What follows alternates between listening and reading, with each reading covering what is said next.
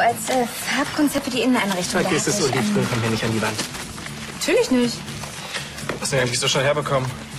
Vom Carsten. Ja, der hat dir das Ding hier einfach geschenkt, oder wie? Nee, ich musste mit ihm schlafen. Also, Das war ein Scherz.